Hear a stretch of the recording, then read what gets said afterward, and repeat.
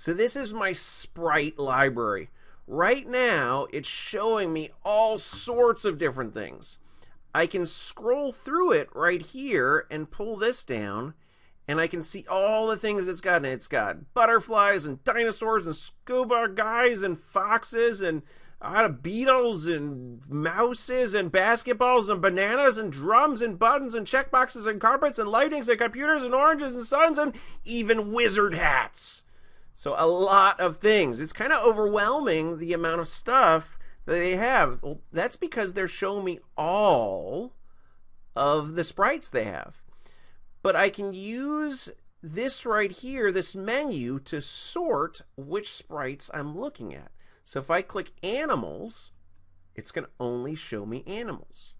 If I click all, it's going to go back and show me all those things again. If I click fantasy, it's just going to show me all the characters do with fantasy, like dragons and ghosts and ghouls and gigas. What's a giga? And a gobo? I don't know what gigas and gobos are, but pretty cool. Uh, people and things and transportation, which is like horses and airplanes and then they have ones that are like themes that castles and like everything that would go with a castle. Like you've got a princess and a wizard hat and anything that would go in a city. These all go together. Flying, music and dance. So if you're going to make like a music game, you could use all these guys. Space. So they got their spaceships and their aliens. Very cool.